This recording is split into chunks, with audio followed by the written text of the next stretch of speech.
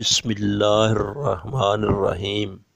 امت محمدیہ صلی اللہ علیہ وآلہ وسلم کی شان۔ رسول اللہ صلی اللہ علیہ وآلہ وسلم نے فرمایا کہ تم میرے پاس قیامت کے دن آؤ گے اس حال میں کہ وضو کی وجہ سے تمہارے ہاتھ، پاؤں اور پیشانیاں روشن ہوں گی۔ یہ میری امت کا نشان خصوصیت کا ہوگا اور دوسری کسی امت کا یہ نشان نہ ہوگا۔ سبحان اللہ۔